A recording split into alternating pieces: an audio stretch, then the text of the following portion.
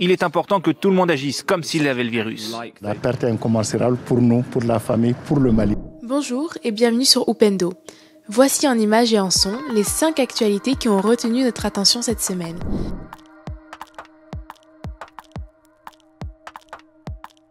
Les sœurs de Soumaïla Sissé se réunissent devant la maison familiale.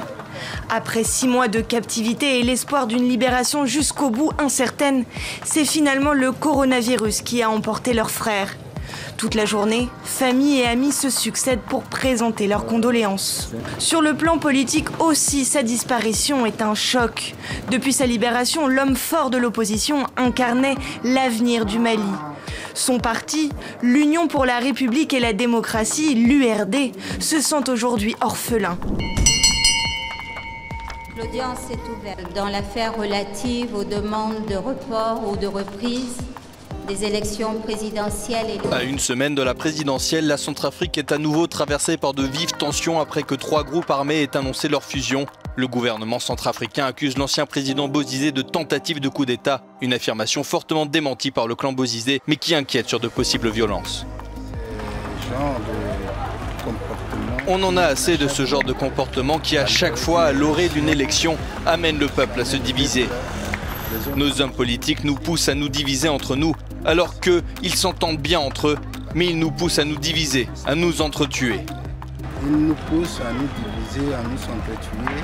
Alors que les tensions montent, la coalition de l'opposition démocratique, la COD 2020, dont l'ancien président François Bozizé était le chef de file, exige un report des élections. And by the way, tonight, on Christmas Eve, I have a small present for anyone who may be looking for something to read in that sleepy post Christmas lunch moment. And here it is Tidings, glad tidings of great joy, because this is a deal. A deal to give certainty to business and travellers and uh, all investors in our country from the 1st of January, uh, a deal with our friends and partners in the EU. You remember the oven ready deal by which we came out on January the 31st? That oven ready deal was just the starter. This is the feast, full of fish, uh, by the way. And I believe it will be the basis of a happy and successful and stable partnership with our friends in the EU for years to come.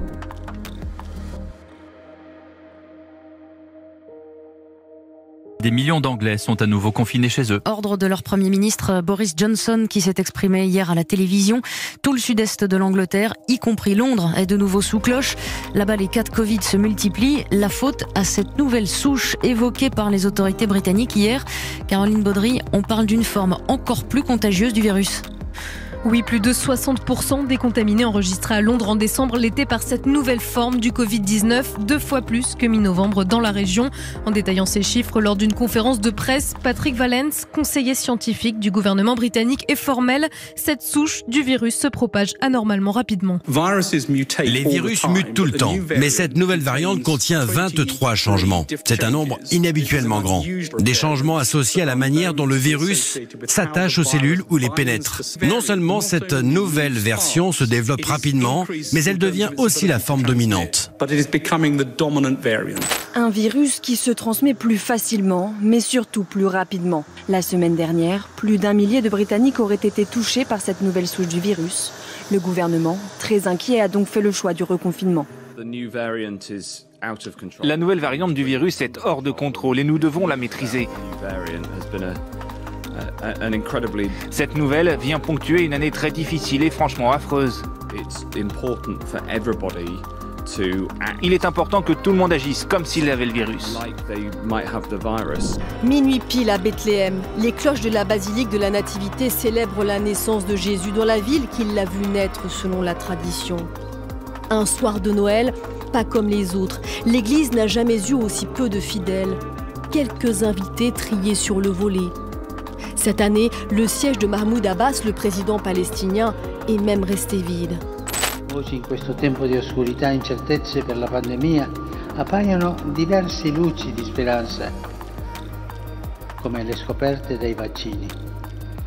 Ma perché queste luci possano illuminare e portare speranza al mondo intero devono stare a disposizione di tutti. In questo momento storico segnato dalla crisi ecologica e da gravi squilibri economici e sociali aggravati dalla pandemia del coronavirus, abbiamo più che mai bisogno di fraternità.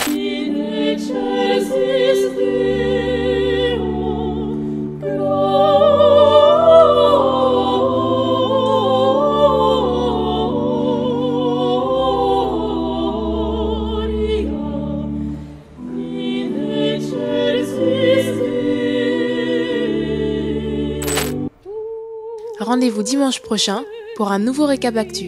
D'ici là, n'oubliez pas de suivre Upendo sur Instagram, Facebook, YouTube, Twitter, LinkedIn et TikTok.